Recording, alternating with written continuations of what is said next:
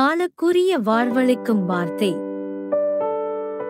சங்கீதம் தொன்னூற்றோராம் அதிகாரம் பதினாறாம் வசனம். நீடித்த நாட்களால் அவனை திருப்தியாக்கி என் ரட்சிப்பை அவனுக்கு காண்பிப்பேன். May you live as long as you desire. விரும்பும் வரை வாழுங்கள். திருப்தியாவது என்பது ஒவ்வொருவருக்கும் வித்தியாசமானது. ஒரு சிலர் இரண்டு இட்லியுடன் திருப்தியாவார்கள். ஒரு சிலருக்கு திருப்தியாகும் எண்ணிக்கை அதிகமாயிருக்கலாம். நீடித்த ஆயுசம் அப்படியே. திருப்தி என்றால் ஒவ்வொருவருக்கும் வித்தியாசமானது.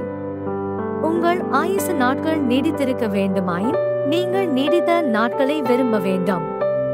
நீங்கள் விரும்புகின்ற நாட்கள் வரையிலும் சுகமுடன் வாழ்வீர்கள். அறிக்கை. நீடித்த நாட்களால் கர்த்தர் என்னை திருப்தியாக்குவார். கழுகுக்கு சமானமாய் என் வயது திரும்ப வாழ வயது போல் ஆகும். ஆமேன்.